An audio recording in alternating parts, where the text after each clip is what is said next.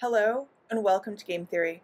I'm Professor Naomi Utgoff of the United States Naval Academy, and in this video we'll describe the ascending clock auction and its equilibrium bidding strategy. We'll give a formal description of the ascending clock auction and its various cousins we see in the real world. The ascending clock auction is in fact a dynamic game of incomplete information, but we'll shoehorn it into our discussion of auctions since it is such a common format. Here is a fairly formal description of the ascending clock auction. Bidders' types are privately known and independently distributed. Every bidder sees the clock price, which starts at zero and increases smoothly. The clock price represents the price the winner would pay if the auction ended right now. Every bidder decides at each price whether to exit the auction. The auction ends when exactly one bidder remains in and all others have dropped out. The remaining bidder wins and pays the price shown on the clock. The Japanese button auction is exactly the ascending clock auction. Each bidder starts by holding down a button to indicate that she is in. As the clock price rises, a bidder drops out by releasing her button. There are some close cousins of the ascending clock auction out there. There's the so-called English auction, in which the bidders call out prices while the auctioneer moderates and possibly seeks further bids. eBay and others run a clock proxy auction in which each bidder inputs the price at which she would drop out, and eBay increments the clock price and who is still in accordingly.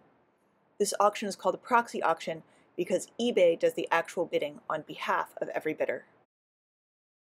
Let's turn our attention to the equilibrium bidding strategy of this game. We'll argue that each player has a weakly dominant strategy. First, a bidder who wins at a clock price B above her valuation is worse off compared to losing at B Therefore, a bidder should be out by the time the clock price exceeds her valuation.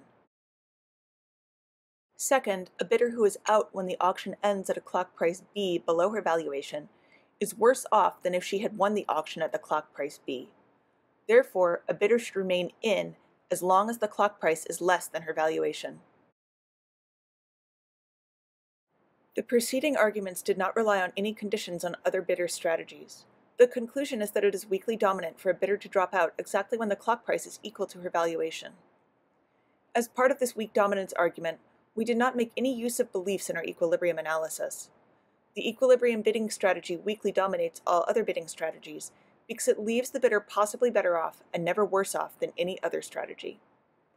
There remains one important feature about this equilibrium, namely that it is efficient in the sense that the bidder with the highest valuation wins the object. In particular, she wins when the clock price shows the highest valuation belonging to a losing bidder. The seller has thus discovered the highest price the market will bear, and the winner receives a discount because she wins at a clock price that is below her own valuation. This discount is called informational rent, the price the seller pays the buyer for the seller's price discovery. Thanks so much for watching this video about the ascending clock auction and its equilibrium bidding strategy.